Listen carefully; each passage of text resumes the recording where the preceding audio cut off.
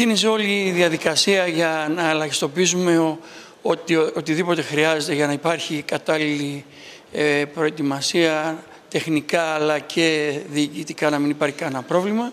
Σήμερα επισκέπτονται από την Περιφέρεια η Τεχνική μαζί με τον Διευθυντή εδώ Τεχνικών Υπηρεσιών